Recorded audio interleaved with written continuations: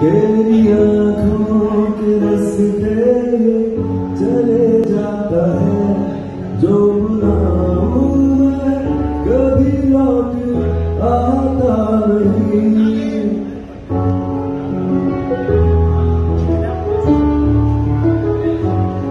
बेखबर है